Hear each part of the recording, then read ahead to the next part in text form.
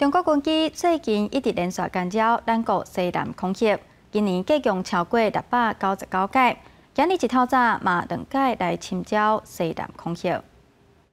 中华民国空军广播，位于台湾西南空域，高度五千公尺的中共军机注意，你已进入我空域，影响我飞行安全，立即回转脱离。根据公布加飞行路线记录，中国军机六点二十三分、八点十八分两架进入咱国西南空域。咱国空军伫空中警戒，而且公布驱离。根据统计，这个月累计进入咱国空域二十天，公布驱离的记录计共一百十五摆。